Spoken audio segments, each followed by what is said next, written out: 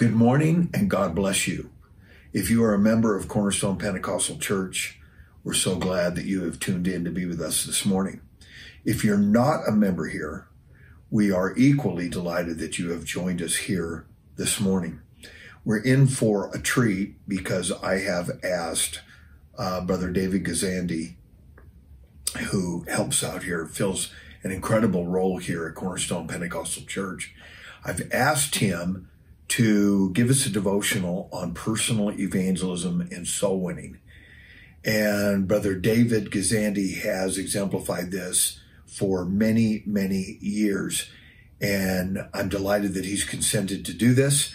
And we will be hearing from him in just a moment. We want to start with prayer.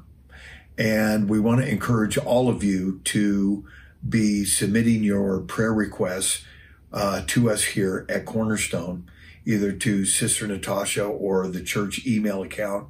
If you'll get those prayer requests to us, we will definitely bring them before the entire church and we will continue to pray uh, for needs both great and small. Let's start with prayer. Father, we love you. We praise you. We worship you here today, God. We thank you for your ever present help, even in the midst of national and worldwide crisis. We know that God is a comfort and a strength in time of trouble. Father, we pray for our nation, those that are in leadership. We pray for our community and we pray for Cornerstone members in particular, for the hand of God, the strength of God, the promises of God, and the word of God to be an immediate help. We ask it now in the name of Jesus Christ. Amen. So without any further delay, God bless you. And we just believe that this is going to be a great blessing to you. God bless.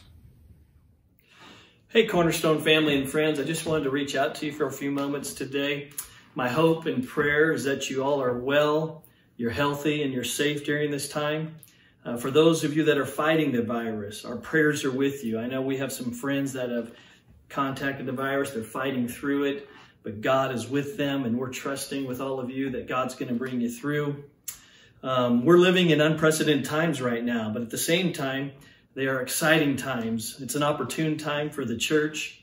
I see the church adapting, overcoming, and impacting our world. I'm hearing, and not only hearing, but I'm seeing exciting things happen. People are being stirred, lost ones are finding their way back home, miracles are happening because the churches are rising up to meet the occasion. Instead of churches being overwhelmed, I'm seeing churches overcome these obstacles set before us. Yes, it's causing us to stretch out of our comfort zone. It's causing us to be more creative, innovative, and intentional about getting the gospel out there. But I see churches of all sizes taking advantage of social media platforms, pre-recording their services. Some are live streaming services, doing drive-in services or drive-through services. People are doing Bible studies by way of Skype or Zoom and so on. But God is anointing all these efforts. He's blessing these efforts, and we are seeing the fruit of everybody's labor.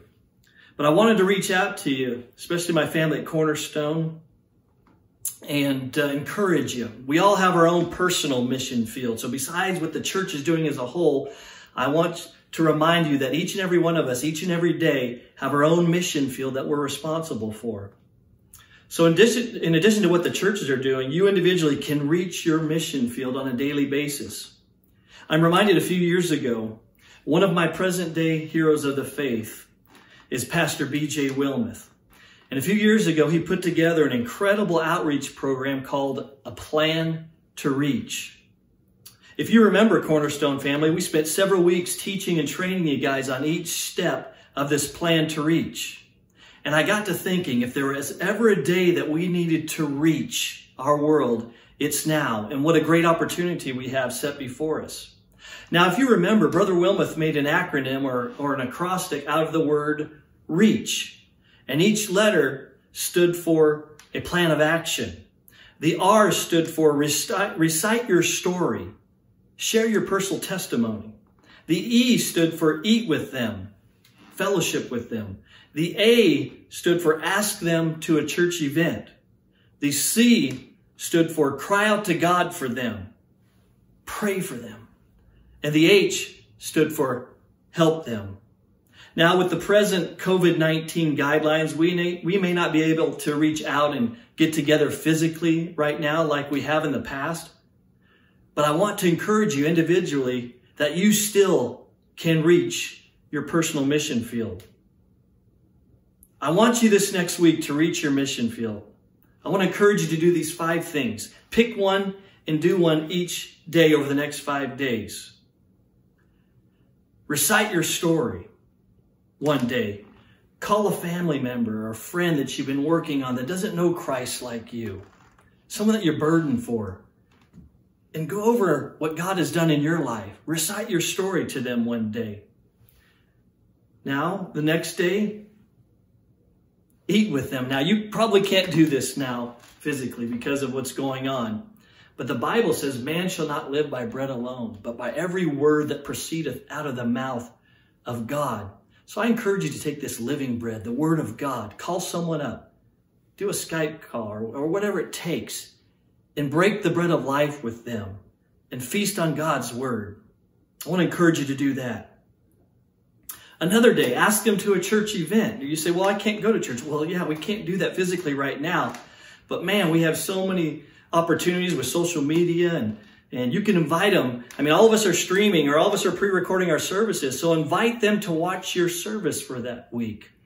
Um, my kids last night, under the direction of, of Kyle, one of my boys, um, and the autopilot worship team, they live streamed a, a, worship session right here in our living room and, and hundreds from all over the United States tuned in and it was such an impactful moment. I, I, wish you all could have been a part of it. Maybe many of you that are listening now were a part of it. But you can do something like that. Create an event and stream it online and see what God will do. And then I want you to pick one day this week and cry out to God for those that you are are burdened for, those that you're working with. Pray for them. Spend a season in prayer. Man, prayer gets things done. And so lift them up in prayer. And lastly, help them. Pick a day this week to help someone in need. You may not be able to physically go and help someone in need, but you can call them up and give them an encouraging word. People are hurting. People are scared right now that don't know God like you and I know God. And so call them up, encourage them, let them know that it's going to be all right and that they can have uh, strength and comfort and peace through this time.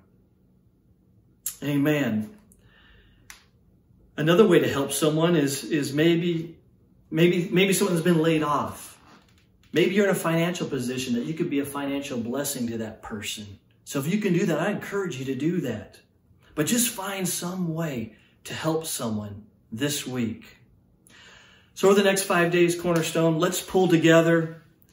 Let's work together and let's reach our world. God bless you. I love you all. I miss you all. I look forward to the day that we get together. But in the meantime, I look forward to hearing all the wonderful reports of what God's going to do in your mission field. God bless you.